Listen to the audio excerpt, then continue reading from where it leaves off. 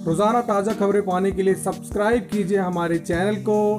दबाइए इस घंटी के बटन को। पाएँ लेटेस्ट खबरें सबसे पहले।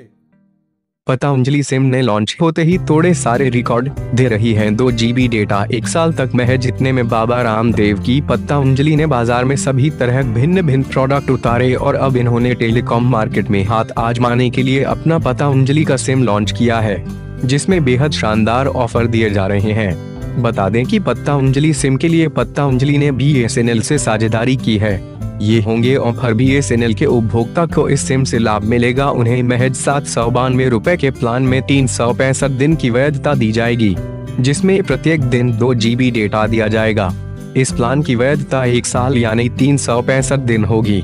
इसके अलावा इसमें असीमित कॉल का लाभ भी मिलेगा। यही नहीं, एक सौ चवालीस रूपए के प्लान में दो जीबी डेटा प्रतिदिन दिया जाएगा, जिसकी वैधता एक महीने यानी अट्ठाईस दिन होगी।